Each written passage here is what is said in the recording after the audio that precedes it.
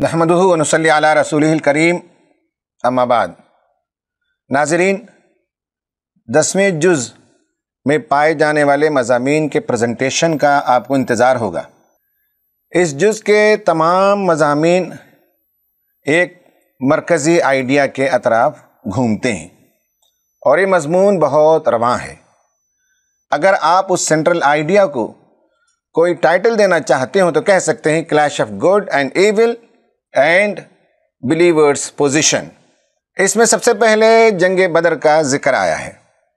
दुनिया में हक बातिल की कशमकश clash of truth and evil रोज़ अव्वल से है।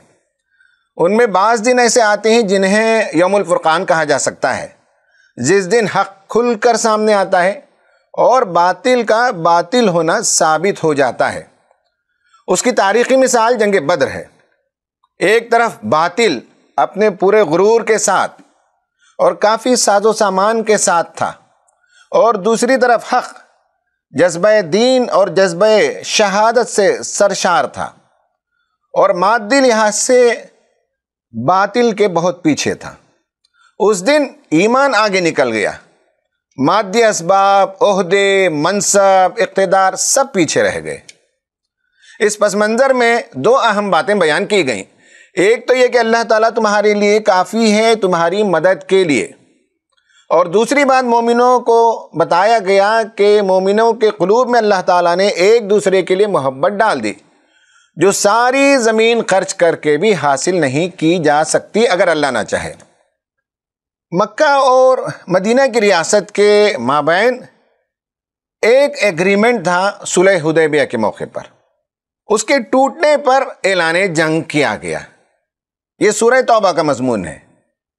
मगर जंग में भी दावत ही मुकदम हो यह तालीम दी गई। सल्तनत मक्का ने ब्रीच ऑफ़ एग्रीमेंट किया। जंग बंदी के माहदात तोड़े गए। तो नबी सल्लल्लाहु अलैहि वसल्लम को इजाज़त दी गई कि वो इस एग्रेशन को रेसिप्रोकेट करें। एक खुले जहन से कुरान पढ़ने वाले को इसमें फेयरनेस महसूस होगा। हक बातिल की कशमकश में बातिल क्या चाहता है? वो चाहता यह है कि नूर हिदायत को अपनी फूकों से बुझा दे। मगर अल्लाह ताला ने वादा किया और सर की आँखों से इस वादे को देख सकते हैं कि उसकी नूर की वो हिफाजत करेगा। और ये दीन दुनिया में गालिब था और गालिब होकर रहेगा। बातिल के इन सुरगनों और ये जो लीडर्स हैं, उनका किरदार अच्छा नहीं है। कुरान ने उसकी तस्वीर पेश की। वो करप्ट लोग हैं।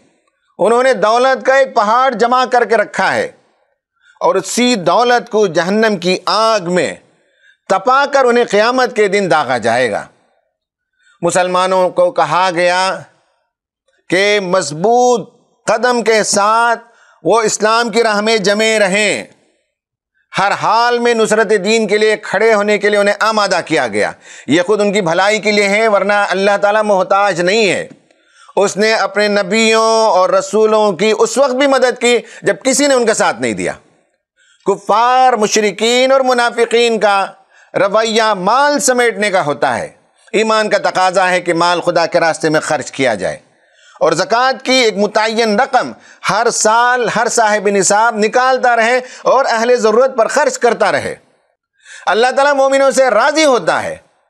वो लीस्ट रिसोर्सेस के साथ लॉफ्टी गोल को लेकर जब आगे बढ़ते हैं तो अल्लाह ताला ने उनके लिए जन्नतें और बड़ी कामयाबी की बशारत दी है।